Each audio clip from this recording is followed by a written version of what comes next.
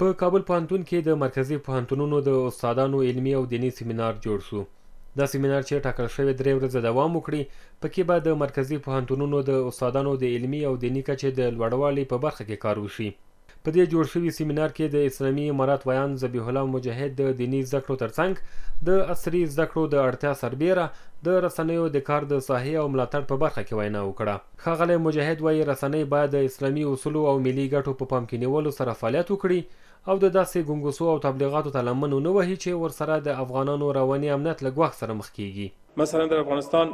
وحدت ملی یک چیز بسیار مهم است هیچ رسانه باید تلاش نکند که وحدت ملی را ضربه بزند یا نشراتی داشته باشد که منسوب به یک قوم میشه به یک لسان میشه به یک جهت میشه به یک مذهب میشه تا تفرقه را ایجاد کند در جامعه مجاهد دغه راز ټولو هغو رسنیو ته د فعالیت د دوام خبر ورکړ چې د اسلامي اصولو او ملي ګټو په پام کې نیولو سره فعالیت کوي. د اسلامي امارت ویاند د رسنیو ارزښت او اهمیت ته په پام کې وايي، د نظام پایښت د هغو رسنیو په فعالیت پورې تړلی چې د ملي ګټو پر اساس خپرونې کوي. بقای نظام، بقای امن، بقای ثبات اقتصادی ای وابسته به